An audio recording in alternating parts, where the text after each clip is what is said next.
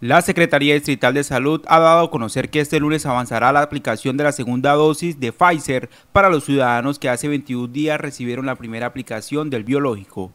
El titular de esta dependencia, Luis Fernando Castro, habló sobre esta jornada de inmunización a esta población. Aquellas personas que hace 21 días recibieron la primera dosis de la vacuna de Pfizer, que por motivos ajenos al distrito, ante cuestiones logísticas del orden nacional, no se recibió a tiempo la vacuna para garantizar desde el día de hoy la segunda dosis de Pfizer. Por tal motivo, desde el día lunes iniciaremos con la vacunación de la segunda dosis de Pfizer. No sobra recordarle a la comunidad que según los últimos estudios del fabricante Pfizer, la segunda dosis puede extenderse incluso hasta las 84 días de la primera dosis y no va a haber ninguna dificultad con aquellas personas que por estos días aplacen unos días la aplicación de la segunda dosis. Las autoridades de salud reiteran el llamado a todas las personas que son mayores de 45 años para que se acerquen a los centros de salud autorizados y se apliquen el biológico y así poder cuidar a sus familias y amigos en el distrito de Barranca Bermeja.